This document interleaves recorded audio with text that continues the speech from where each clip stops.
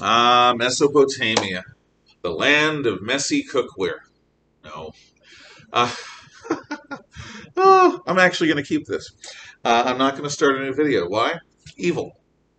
This is the third lecture uh, for ancient history and medieval history in the week of Monday, November 2nd through Friday, November 6th. This is Tuesday, November 3rd, Election Day. And we are beginning our survey of pre-classical river valley civilizations. Why did our cultural ancestors, and some perhaps our physical ancestors, settle in river valleys? Were they stupid? Did they not comprehend that in a river valley they'd be flooded out every year? That river valleys are more humid than hot uplands and more buggy than uplands? Did they really enjoy mosquitoes more than we do? Or snakes? Some of which are poisonous, or crocodiles, or any other lovely swamp vermin that exists in the shores of rivers. Obviously, they're not stupid. They know it's going to flood. That's why they settle there. In the era before modern industrial chemical fertilizers, some of the best fertilizer in the world comes from river mud the decomposing dead plants and animals that end up in rivers, after a while, make really good soil replenishers. And you need to replenish the soil when you are growing things systematically in agriculture. If you don't, the soil becomes weak and the plants become feeble and eventually they stop coming at all. So, fertilization of the soil uh, is very important. And better than manure is river muck. So if you live in a floodplain, which they did, you farm in a floodplain, which they did, and if you have developed some form of calendar, which they did, you might have an idea that the river's going to flood during a certain season. And that flooding will make the rest of the year worth it. Because that flooding will bring all the muck up onto the shore, slosh, throughout the entire floodplain, depending upon how high the waters get. And then the waters will receive, leaving all of that gunky, stinky, gloriously fertile mess right on top of your fields, ready to fold into the earth and plow and it revivifies the soil. It replenishes the soil. And that fecundity, which is fertileness, which these river valley civilizations were able to take advantage of because of the natural floodwaters, is a big deal. Something I didn't mention in my notes was the development of calendars. I suppose I should talk about it now. A calendar is something, oh God, will you know this? Am I going really much farther than your current knowledge? A calendar is something that measures time. In particular, months and years. Weeks. Well, let's let's go through. Seconds are basically based on heartbeats, close to it. Minutes are groupings of seconds that are useful for determining near uh, term future events. Hours, the same thing. Days, though, are a natural phenomenon. The sun is orbited by the Earth, which rotates once every 24 hours. Thus, we have days. Weeks are developed by cultures and religions. For example, the seven day week, which we use, is based on Genesis, God creating the world for six days, and on the seventh day he rested. Hmm. Well, about months? Ah, months are also, like days, a natural phenomenon. Moons, or months, many moons ago. Months. Because you know that there is a cycle of the moon waxing, getting bigger and brighter and more full, and waning, getting smaller and less wide and less bright. The ultimate waning moon is a new moon, which is dark. The ultimate waxing moon is a full moon, which is light. or basically three nights of both. And in between is the waxing moon getting bigger and the waning moon getting smaller. So some societies use a lunar calendar, which makes total sense, except that the lunar calendar does not match up with the solar year. So if you use the lunar calendar, you are going to end up having your seasons move all over the place. There won't be, you know, December weather or July weather. Uh, the weather will simply be catch as catch can because you're measuring time by the moon. So most societies, even though the lunar calendar is self-evident and easy, uh, because it's such a short cycle, you know, 30, 31 days, whatever, um, but most abandon it for the solar calendar. And the first people to employ the solar calendar are the Egyptians. But the solar calendar is difficult. In order to calculate solar time, you need to do astronomical observations and you need to have math. this is why Egypt builds many of its megaliths. This is why the Mesopotamians build the ziggurat. This is why the Aztecs built their step pyramids. This is why Stonehenge is oriented the way it is, because these megaliths, all of them in some way or another, measure time. They are big calendars. Because solar time doesn't have a big, obvious, glomming moon in the sky to tell us. And figuring out when the end of a year happens and the beginning of another year happens, it changes every year winter, spring, summer, and fall. All these seasons do is whatever the heck they want every year. It's chaotical. There isn't order to it. Unless you really watch the heavens. And if you really watch the heavens, because the fixed stars, the apparently fixed stars in heaven, continue to wheel overhead, you can calculate midwinter's day, midsummer's day, which are both solstices, the winter solstice and the summer solstice, December and July 21st. And you can also calculate the equinoxes, the vernal equinox in the spring and the autumnal equinox in the fall. The days of equal day and night. But it takes time to develop the astronomical knowledge to know how to do this and to do the math. And so a class of priest astronomers end up becoming part of the rulership in ancient Mesopotamia and priest astronomers in Egypt and these other societies as well. The Druids of the Celtic peoples could do this because the secret of calendar is worth living for, dying for, or killing for.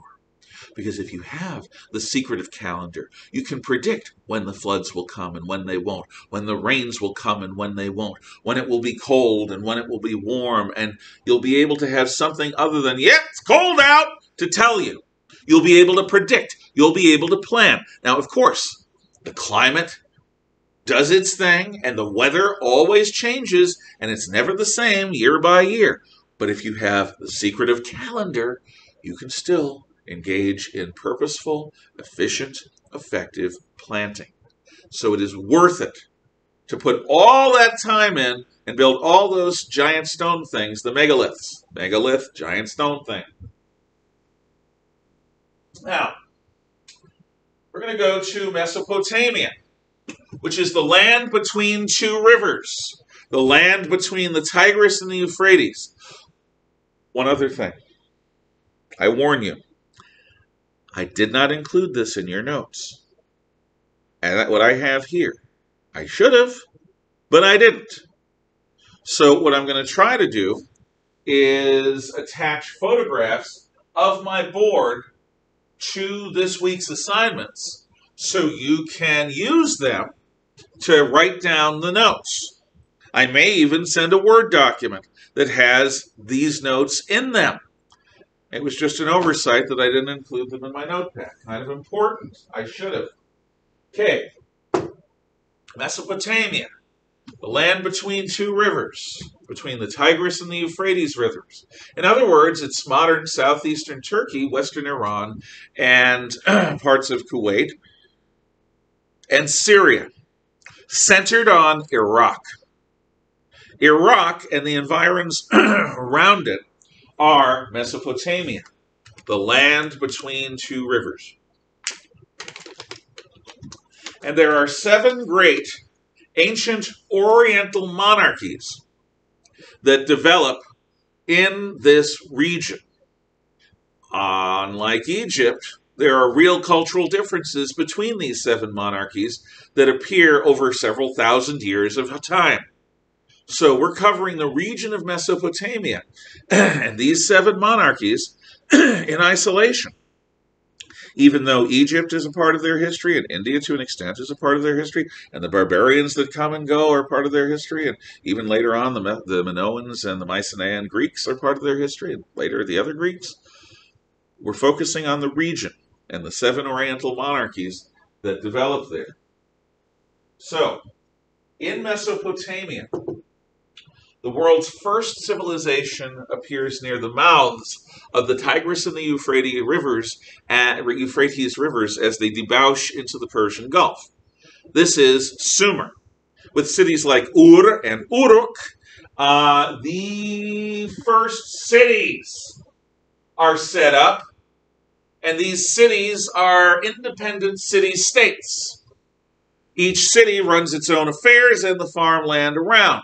Sometimes the cities partner up with one another. Sometimes the cities fight one another. Sometimes they just trade with one another.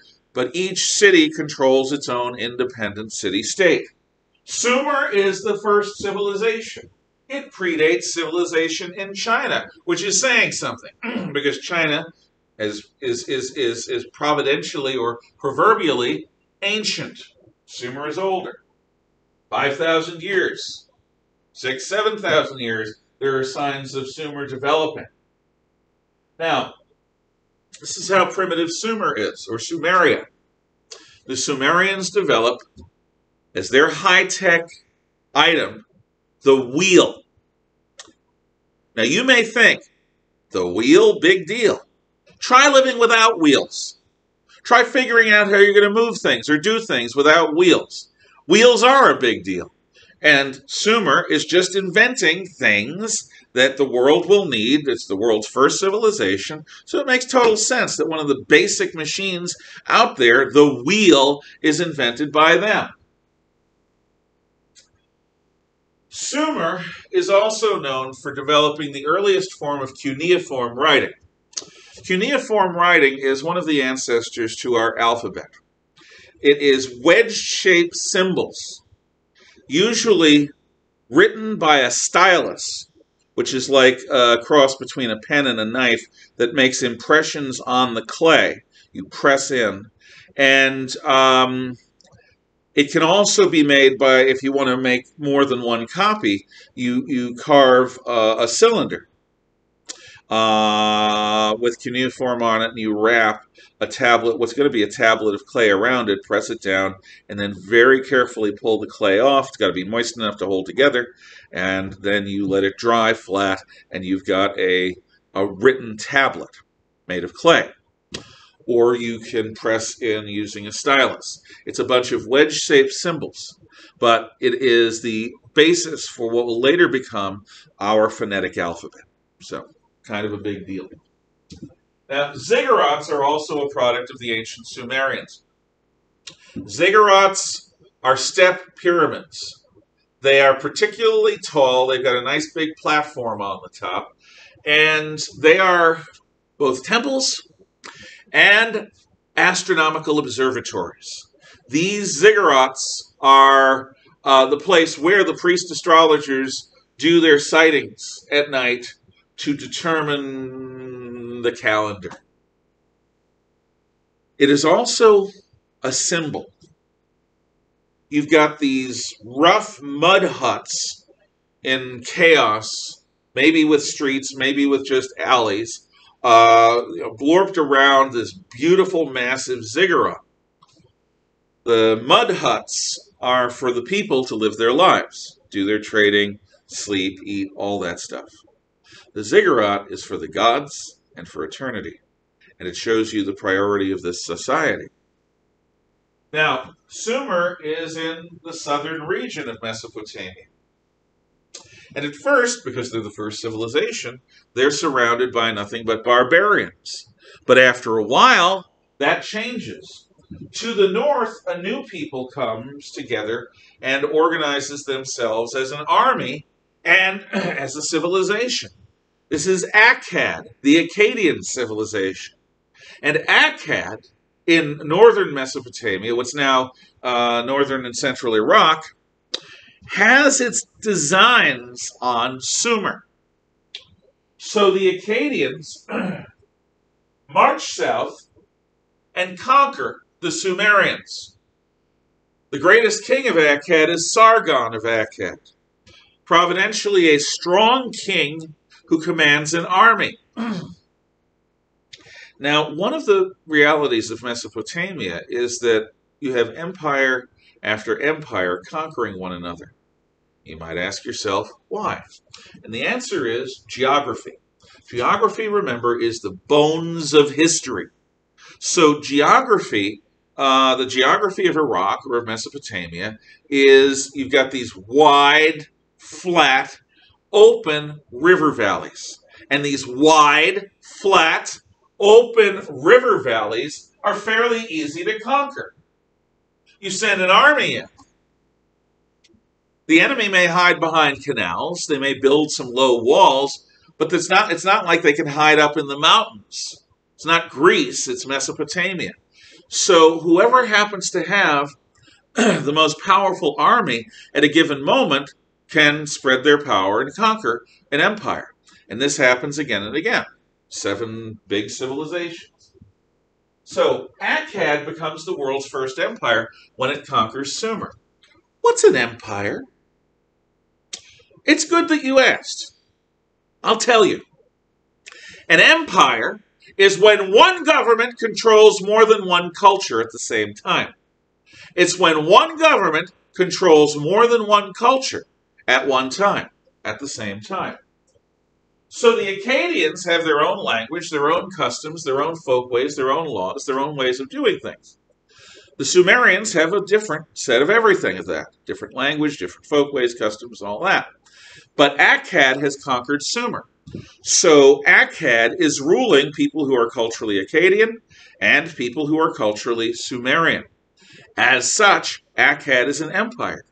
The United States was an empire when we ruled the Philippines from 1898-99 through 1945 during the period between the Spanish-American War and the, and the end of World War II. The Philippine Islands archipelago was a colony of the United States of America. The Filipinos, though Christian, uh, have their own customs, their own sets of languages. It's actually a fairly heterodox population in the Philippines, north and south, very different. Southern Philippines are Muslim. Um, and when the United States ruled over them, as well as the continental United States, Alaska, Hawaii, Samoa, other places, um, America, the United States, was an empire. One government ruling over several cultures at the one time. But, like all empires, uh, they rise, they prosper, they decay, they fall. That's the pattern of human civilization. They rise, they're vigorous, they're strong, they conquer, they have their zenith, their time of uh, peak power and, uh, and, peak efficacy and peak culture, maybe. It's golden age, possibly. And then they decay, they rest on their laurels, they become lazy, they stop risking things in order to achieve things, and uh, their decadence uh, and decay brings about their decline and fall. Maybe they're conquered, maybe they just disintegrate into anarchy. It depends. The third great monarchy is Hammurabi's Babylon. Babylon, in central Iraq, near a narrow point between the Tigris and the Euphrates rivers, is the crossroads of the world at its time. It is the great city of the world of its time. No other cities, except perhaps in Egypt or maybe, maybe in China at that time, uh, could compare to Babylon. But because of its location, Babylon is the crossroads of the world. It is the great city, the great center of the world. The way New York City was 50 years ago, the way London was in the 1800s, and maybe today. Um, the great city of the world. And we've already talked about Hammurabi's code. Now, an eye for an eye, a tooth for a tooth, a life for a life. Very clear. What also should be clear is that Babylon has two phases of greatness. Hammurabi's Babylon is about 2,800, 3,000 years ago. It's, it's, it's, it's a long time. No, no, no, no. It's older than that. Of course it's older than that. Um, it's between three and 4,000 years ago. In other words, it's between 1000 BC and 2000 BC. Uh, the second phase of Babylonian history is called the Neo Babylonians. We'll deal with them a little bit later. That's the Babylon of King Nebuchadnezzar. So, one clear way of remembering this, if you can remember the big long names, is there's Hammurabi's Babylon that comes first, and then there's Nebuchadnezzar's Babylon, or the Neo Babylonians that come later. Neo for new. So, in Hammurabi's Babylon, this city at the center of the world, at the crossroads of the world, builds a, a gate that lasts to this day. It's called the Ishtar Gate. And it is made of this beautiful blue covering stone with some orange figurines on it. And I, I intend to have a link in the description. Uh, the Ishtar Gate is one of the great uh, surviving relics of very ancient times. You also have something that you all read from when you did chapter one, which was the Gilgamesh epic. The Gilgamesh epic is the world's first story, an epic tale of the world being flooded and a hero who goes on the first hero's journey and he encounters the hairy wild man Enkidu who becomes both his friend and, and uh, some a challenge to him. And so the Gilgamesh epic, the oldest story that's non-religious that we know of. It's the oldest story, and, and of course it has religious elements if you're Babylonian. But there is a connection between the Gilgamesh epic and the story of Noah in the Bible. Both of these stories involve a great deluge, a flood that uh, that basically uh, inundates the world. Now, could it be that this great flood was just a particularly bad storm season when the flooding came to the Tigris and Euphrates, and the Tigris and Euphrates went beyond their normal floodplains? Or, or could it have been a climate change that brought rain for months and months and months, or maybe even years? It's possible. There are climate effects that could have done that. There's a story that deals with the uh, arrival of the modern shores of the Black Sea. Okay, the Black Sea is north of what is today Turkey, south of what is today the Ukraine and Russia. Uh, it's east of Romania and it's uh, west of Azerbaijan and Armenia. It's this sort of, you know, uh, triangular sea uh, on a map. Just look up the Black Sea, you know where it is. Hopefully, you know where it is anyway. But in early times, the Black Sea did not have the shores it now does. its shores were lower. And there's indication that there were cities and settlements along that shore. But then something happened earthquake, massive flooding, we don't know. But suddenly, another source of water floods in. Suddenly all at once. Now, this could have been the Mediterranean breaking through at Gallipoli and the Dardanelles and uh, where Constantinople is and starting to flood. Or it could have been uh, saltwater sea, like something between the Caspian Sea and the Black Sea. Uh, there, there, are, there are various speculations. But what is clear is that the Black Sea has a catastrophic flood that rises its level significantly. To this day, the Black Sea has two distinct levels of water. The top layer is uh, permeated by sunlight and has the normal life and livelihood and oxygenation that you would expect and sea creatures. But below a certain depth, it's basically dead. There's not much motion in the water. There's not much oxygen. There's not much life down there. It's as if the sea never mixed. The new flooded waters appear over the old waters. I'm not a natural historian. I'm just telling you what I know. And what I know is the Black Sea to this day has this weird two layered um, uh, composition. And that that may be from the time when the Great Flood flooded the shores of the Black Sea. Could it have been that that flood occurred during a time of great rain? But the fact that some of the earliest tales speak of a great deluge, a great flood, um, indicates that something happened. Something that both the Babylonians knew about in terms of Gilgamesh and his story, and that the ancient Hebrews knew about in terms of Noah and his story. And remember, Abraham comes from Sumer. He comes from Sumeria, that region of Mesopotamia. So Sumer and Babylon, fairly close. They may have both had flooding. That's not the Black Sea. I just threw that in there as a possibility. Anyway, in Hammurabi's Babylon, you have uh, the Gilgamesh. Then the Hittites come. And the Hittites are the region's first iron using empire.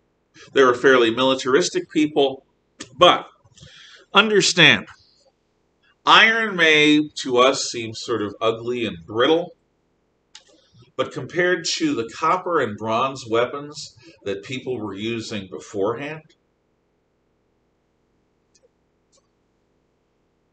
iron is much stronger. So let's talk about the Middle Ages. We talked about the Paleolithic era and the Neolithic era. Let's talk a little bit about the uh, the Copper Age first. We don't know who and where first figured out how to make metal. Maybe there was a big fire one night and they surrounded the fire pit with rocks like they usually do, and they found some interesting looking rocks. The next morning, one of the tribesman wakes up. Oh, drank too much last night. Oh, we'll never do that again. Look at fire pit. What's that down there at the bottom? Clang, clang, clang. You got to see this. Come over here. Look at the. Let's dig this out. Let's see what it is. And what it is is the bottom of the fire pit has something weird and hard in it that has form fitted to the fire pit shape and then has a mixture of ashes and rocks and gunk, but parts of it are clanging metal, sort of coppery colored.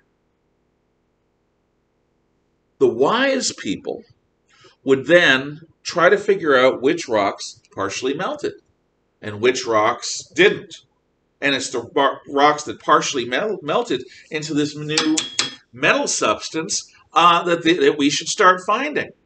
Now, the first metal that human beings uh, get comfortable working is copper. Whether that was the first metal to melt or not, I don't know.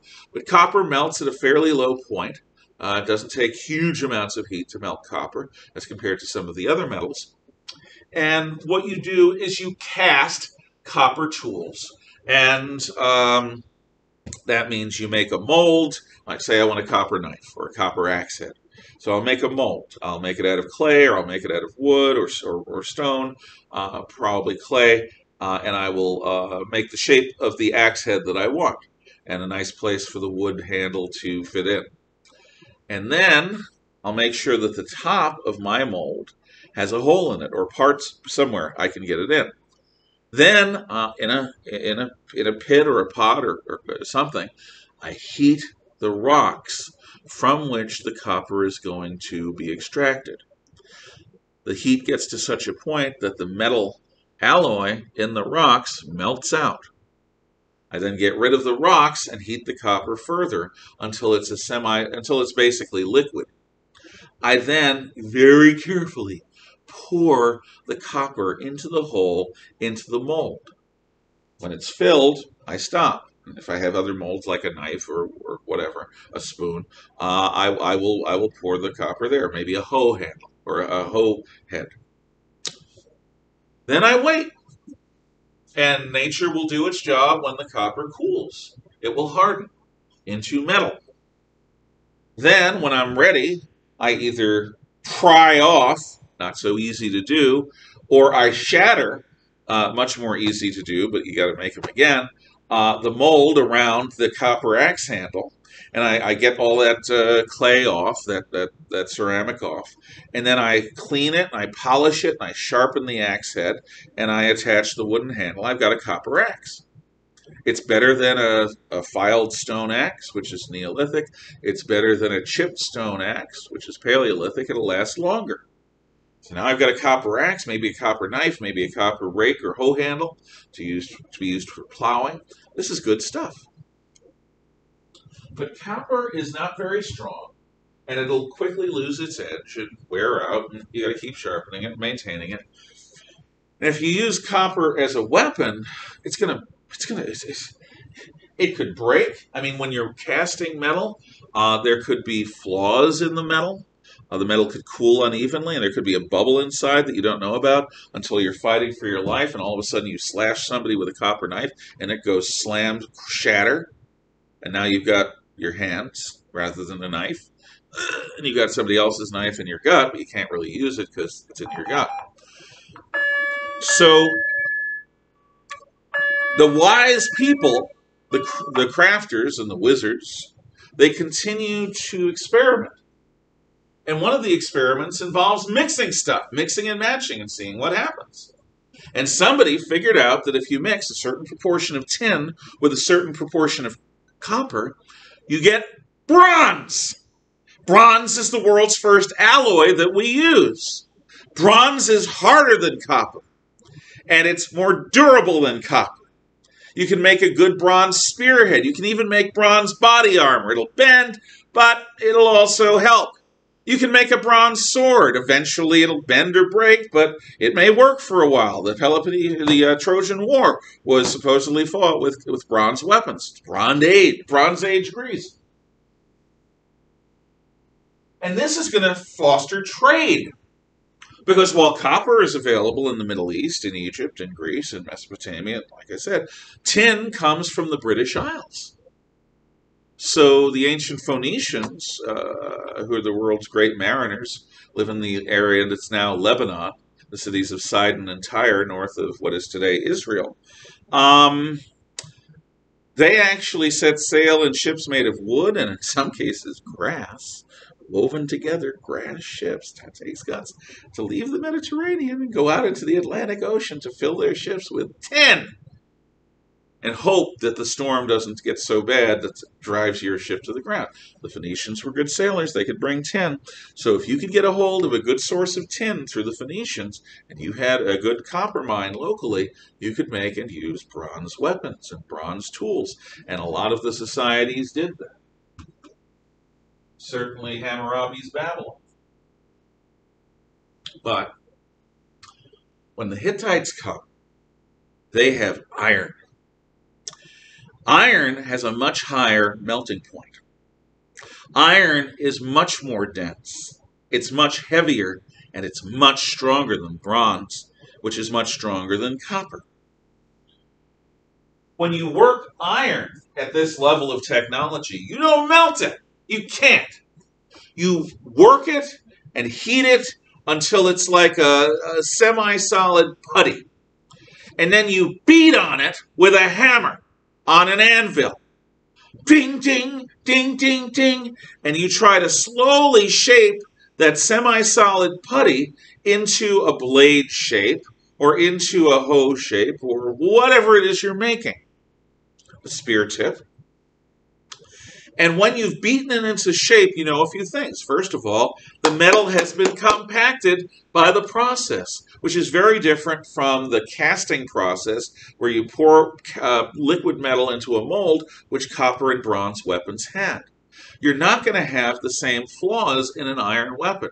If you have a good blacksmith, there are going to be no bubbles inside, and there shouldn't be many flaws in the in, in the construction. The the metal should be a fairly solid piece when you're done.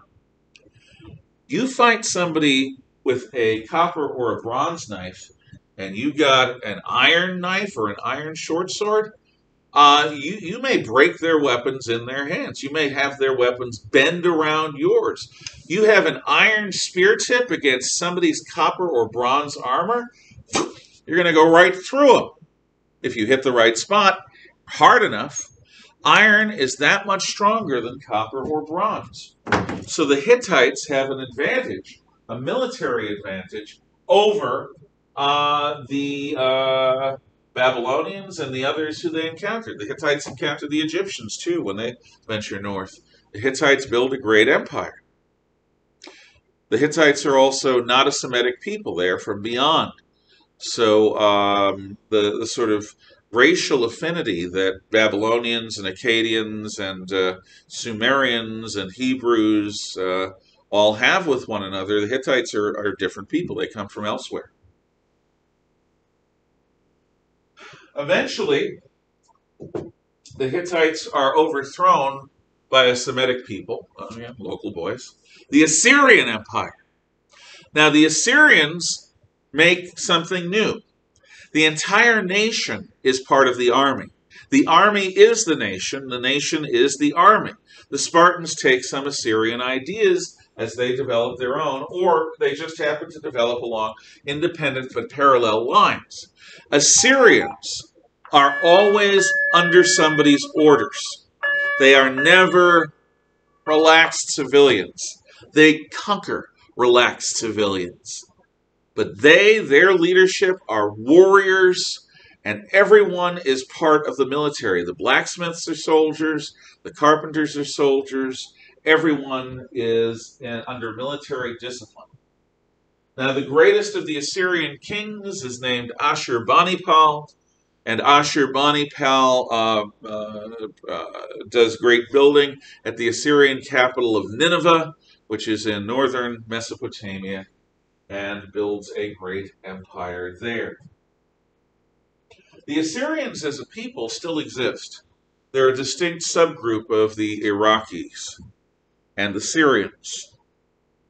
The Assyrians, though, are not Syrians. They're, they're different. The Assyrians tend to be Nestorian Christians. Nestorian Christians are a variant of Christian that uh, was founded by some of the apostles coming east and leaving the Roman lands and entering entering the lands to the east. Assyrian Christians still exist, although they've come under intense persecution within the last five or ten years, under ISIS particularly, but even today. Assyrian Christians are being targeted for extermination by Islamists within Iraq and Syria.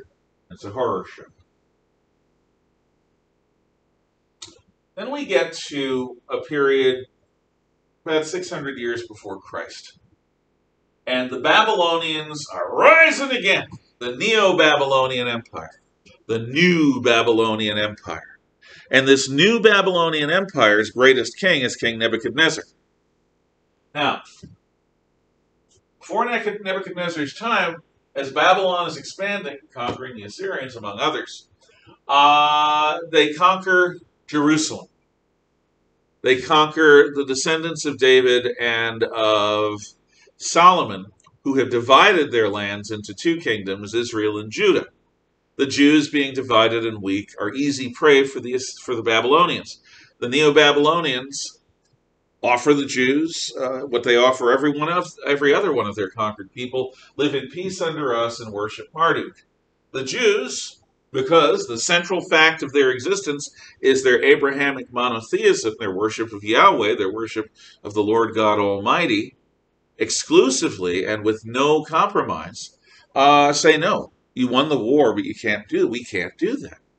So the Babylonians of the Neo Babylonian Empire scoop up the population of Jerusalem and its environs and ship it off to the city of Babylon, where for 70 or 80 years the Jews are kept in the first diaspora, the first great separation of the Jews, also known as the Babylonian captivity. I've told you about this in the background to 9 11, how the Jews were tortured, singled out for sort of humorous, evil uh, sadism by the Babylonians, who like throw 50 of them in a pit and feed them nothing but bacon and see what happens. Um, will the Jews starve and maintain their kosher dietary laws, which says no pork? Or will they eat the bacon? Or, or will they do something like go cannibal? I mean, which they're not going to do. If they're, if they're going to do anything like that, they'll eat the bacon. Um, they do things like throw Daniel the prophet into uh, a, a labyrinth with lions, and daring him to have his God let him live through the night. And uh, according to the Bible Old Testament book of Daniel, Daniel lived through the night among a bunch of hungry, angry lions in Babylon. Nebuchadnezzar is the great conquering king of Babylon. Daniel becomes an advisor of his. And he builds one of the great seven wonders of the ancient world, the Hanging Gardens of Babylon. The Hanging Gardens imagine on uh, a terrace of the palace, a great set of terraces. You plumb water and bring it up to a point on these terraces where you have plantings and planters and fruit trees and fragrant herbs and water fountains and it's like uh, it's like heaven on earth. It's like what the Muslims will later picture picture as paradise. It is a beautiful secret garden for Nebuchadnezzar, one of Nebuchadnezzar's queens. Uh, he, he, he makes it as a gift to her.